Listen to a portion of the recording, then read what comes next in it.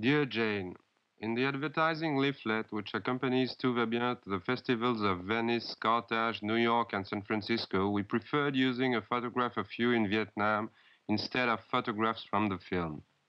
We found this photograph in an issue of L'Express early in August 1972, and we think it will enable us to talk in a more concrete way about the problems raised by Tout va bien. This is not a way of changing the subject, nor is it a way of not talking about Tout va bien, as if we were afraid of talking about the film. Not by any means. It is a way of not marking time, like the puppeteer's troops at Quang Tri, which eventually leads to stepping on others, as with the shells of the Seventh Fleet on Quang Tri. Actually, this is a way of making a detour, but if we dare say so, a direct detour. In other words, a detour which will enable us to run directly into the treacherous little problems that the film we made together at the beginning of this year is concerned with.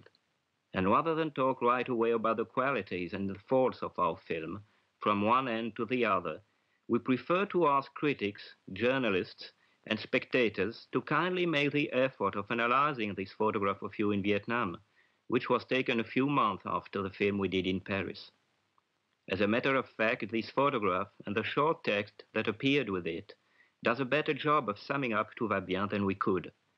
And for a very simple reason. This photograph answers the same question that the film is asking. What part should intellectuals play in the revolution? To this question, the photograph gives a practical answer. The answer it gives is its practice. This photograph shows you, yes, you, Jane, serving the Vietnamese people's struggle for independence.